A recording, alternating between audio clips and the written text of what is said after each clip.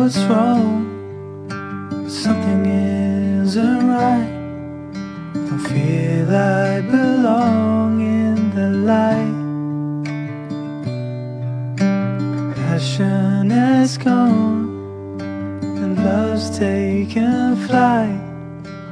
Things just feel heavy tonight. I'm tasting no tears, I'm fighting no fears, but still there's a hole in my heart. Not on my own, but I feel it sometimes. Wondering what should I do For reasons unknown I don't need to decide It's true that I don't have